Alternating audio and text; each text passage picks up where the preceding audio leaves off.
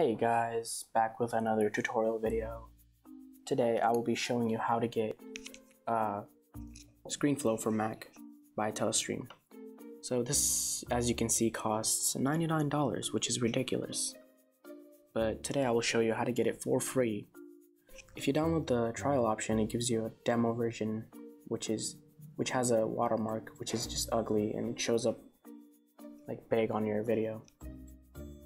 And so if you want to get this for free, I'll put the link in the description. It's basically a MediaFire download.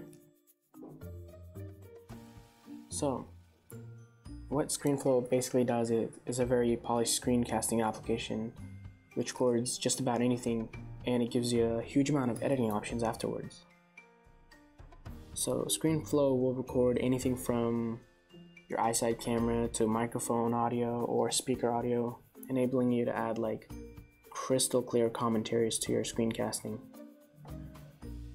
And this is what it looks like when you when you're done recording a video. This was just a test video I did. So it gives you a lot of options. It gives you video, audio, screen recording, call out, touch call out, and annotations, text, and your library. There's a lot of things you can do with this. So I'll leave the link in the description. And if you guys enjoyed it, please leave a like and a comment. And if you would like more tutorials on any kind of software to download, let me know. And I'll see if I can download it or find a tutorial for you guys. Thank you. Thanks for watching, guys. Have a good day.